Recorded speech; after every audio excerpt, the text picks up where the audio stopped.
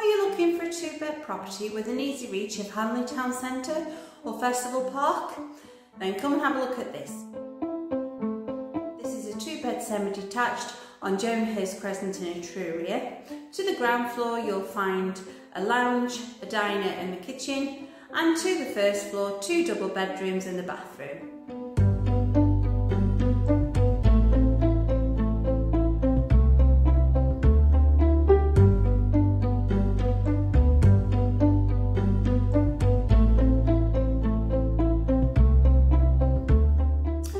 Like this property as it's in a quiet cul-de-sac location um, but like I've said there are uh, convenience stores very late nearby and um, Hanley Town Centre and Festival Park with its hustle and bustle is not too far away.